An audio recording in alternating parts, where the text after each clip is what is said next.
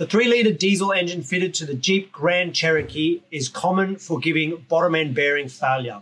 This results in the need to replace the engine with a second hand or new if you can even get one. Hi, I'm Danny from GDL Automotive Services.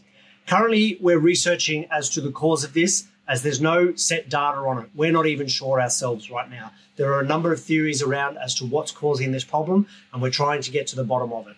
In the meantime, we are advising all of our owners that own these three litre diesels to increase their service intervals to 5,000 to about 7,500 kilometres. Currently, we've got everyone doing them at about 10,000 kilometres. We'd like you to increase that as a preventative measure.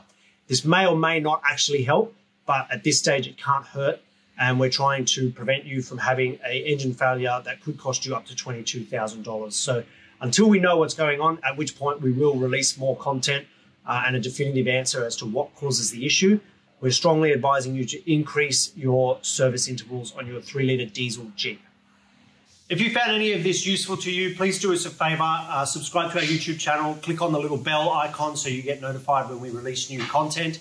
Uh, we've also released a new Facebook page called Jeep Motive. If you could like and follow that page, maybe even share it with fellow Jeep lovers, that would be greatly appreciated.